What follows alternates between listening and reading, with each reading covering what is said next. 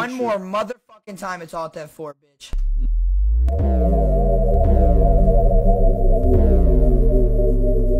Dude, I'm ahead of everyone, bro. Even done hide and seek.